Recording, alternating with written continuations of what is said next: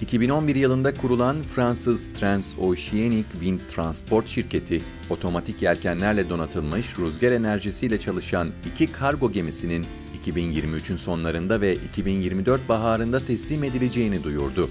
Tamamen çevreci bir teknolojiyle üretilen ve %90 oranında rüzgar tahriki ile çalışan gemiler 80 metre uzunluğunda olacak ve 12 yolcuyla 9 mürettebata ev sahipliği yapacak.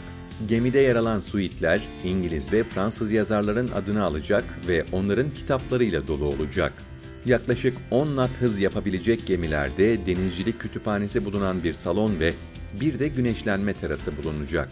Fransız lastik üreticisi Michelin ve otomotiv devi Renault, firmaya ait rüzgarlı kargo gemilerini kullanacaklarını taahhüt etmişti.